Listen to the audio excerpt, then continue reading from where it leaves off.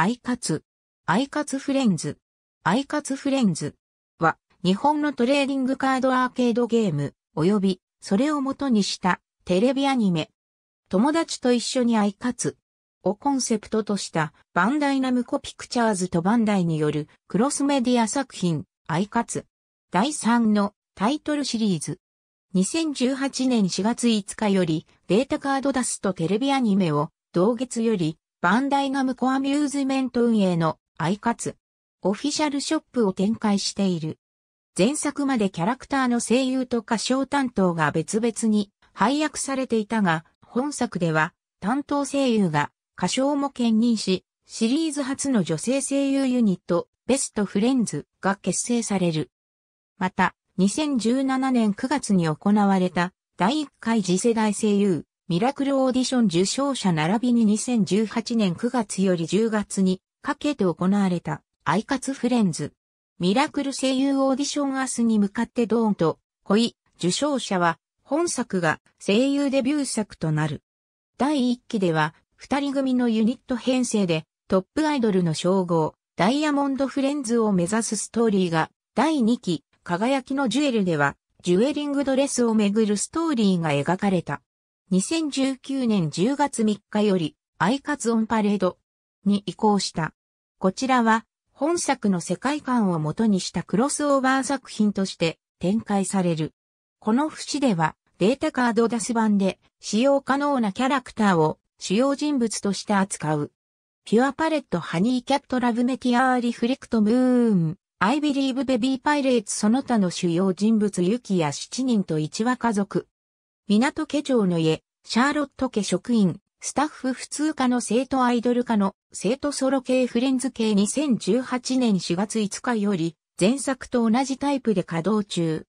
新種類としてユニットオーディションの用となるアイドルカードとフレンズドレスカード、オーディションゲームが有利になるコスメアイテム付きアクセサリーカードが2019年3月28日からの第2期輝きのジュエル編はジュエリングドレスやフルコーデカードがラインナップされる。一部前作、アイカツスターズを引き継いでいる。モード選択などの操作はほぼタッチパネルで、カードスキャンは前作に続き二次元コードをスキャナー部分にかざして行う。100円を投入し、遊ぶモードを選択する。アイカツパスを持っているときはスキャンする。未所持の場合は、ゲストユーザーでプレイするか、100円を追加投入し、アイカツパス作成のいずれかを選択する。アイカツパスは、マイキャラの作成後に払い出される。なお、アイカツパスは、使用回数に制限はない。モード、ステージを選択後、ライバルとアイカツ、または、フレンズとアイカツ、から選択する。プレイするアイドルを選択後、ゲームで使うカードをスキャンする。これまでのアイカツ、カードも使用可能。フレンズとアイカツの時は、主要アイドルのカードスキャンの後、一緒にプレイするアイドルを選択し、使うカードをスキャンする。マイページでお気に入りに追加されているフレンズがいる場合は、そのフレンズが常時メンバー候補に登場する。主要アイドルとフレンズ側のアイドルの組み合わせにより、フレンズボーナスが発生する。アイドルカードがあるときは、ここでスキャンする。オーディションはこれまでと同じリズムゲーム形式。リズムマークがサークル枠にあったとき、3つの色に対応したボタンを U。横に伸びているものは対応したボタンの長押しになる。リズムゲーム途中トップス、ボトムス、シューズに対応したアピールチャンスが発生。メンバー全員がフレンズドレスの時はフレンズアピールになる。3回目のアピール後のルーレット確定時点でメーターがマックスであれば、フィーバーアピールが挿入される。オーディション終了後、ゲーム中獲得したアピールポイントをもとに合格か、不合格かを判定。合格ライン以上のアピールポイントを獲得、または対戦プレイで1位で終了していれば合格、合格条件に満たなかった場合は、不合格となる。アイカツパス使用時は合格判定後に、ステータス画面が表示され、プレイ結果に応じた経験値やファンを獲得できる。オーディションゲームの後はダイヤを引いて飛ばすミニゲームに移行する。飛ばしたエンブレムがダイヤに当たるタイミングで色が変化することがあり、銀色はレア、またはフレンズレア、金色はプレミアムレア、またはベストフレンズレア、エメラルド色はキャンペーンレアが出現する。カード裏の正面が虹色に光っている時はフレンズドレスが出現する。本作よりキャンペーンレアドレスが配布されるイベントは常時ダイヤがエメラルドに変化する。第2期からは新たにレインボーが加わり、一度変化するとジュエリングレアが出現する。また、ダイヤが青の場合でも、運が良いと、レアドレス以上に昇格する場合がある。獲得したドレスは、カードメイクなどでカード化する。終了時にアンコールが発生すると、レアドレス以上が確定する。アンコール中は、タッチパネルの応援をタップすることで画面を盛り上げることができる。ただ、この時にリズムゲームはできない。アンコールには追加で100円が必要。限定カードキャンペーンが実施されている店舗では、ゲーム終了時にプレゼントルーレットに移行し、当選すると引き換えカードが1枚有料で購入できる。1プレイ中にカードを購入した分、ルーレットの回数も増える。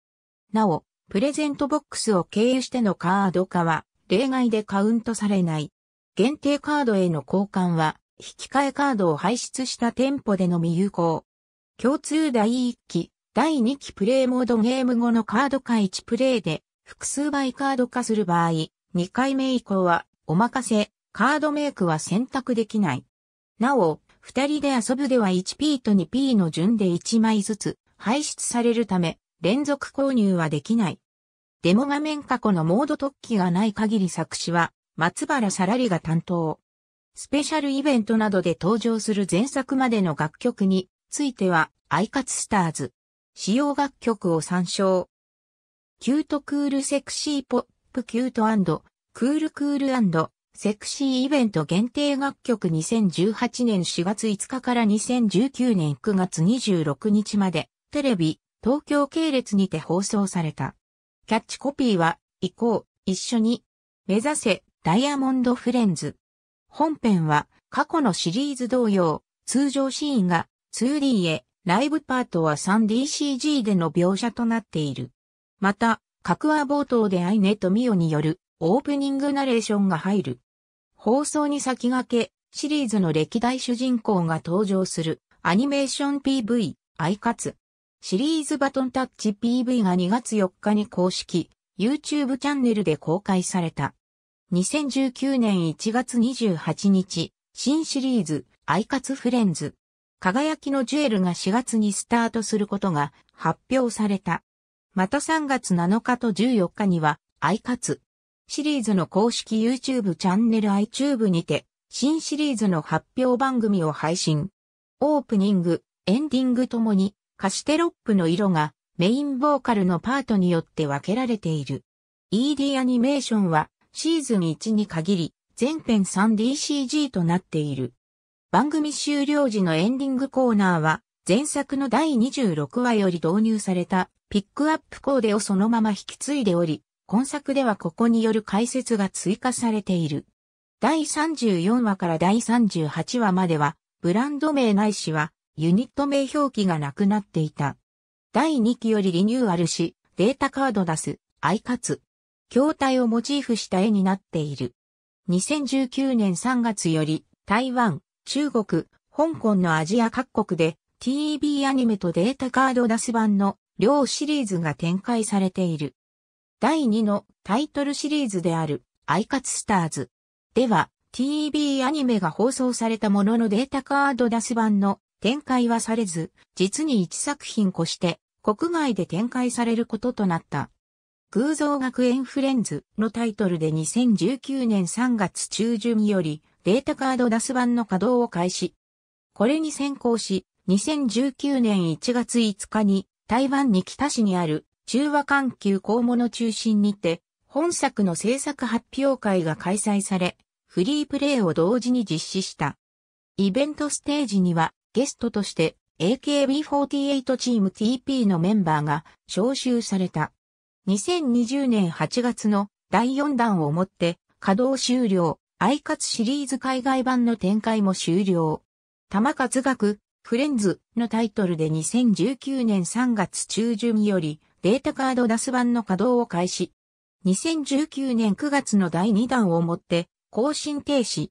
声夢学園フレンズのタイトルで2019年3月中旬よりデータカードダス版の稼働を開始。仕様は台湾版ベースとなっている。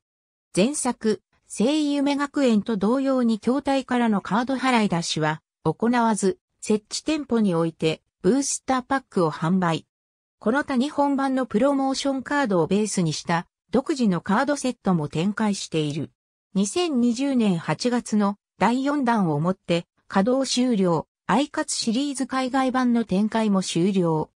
ラジカツフレンズが2018年4月25日より YouTube のアイカツ公式チャンネル iTube 及びやにテレにて配信されており、毎週水曜18時更新。パーソナリティは松永茜、二宮ゆい。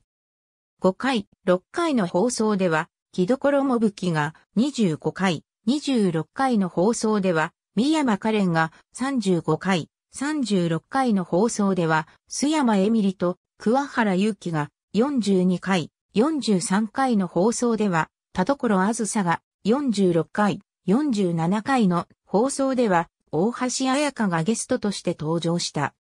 51回の配信日より、新パーソナリティとしてホーキタリンが加入した。主なコーナー公式、YouTube チャンネルにて、キャラクターのバーチャル iTuber7 が、アイカツフレンズの紹介を行っていた。アイカツフレンズ。輝きのジュエルに関するカテゴリー。ありがとうございます。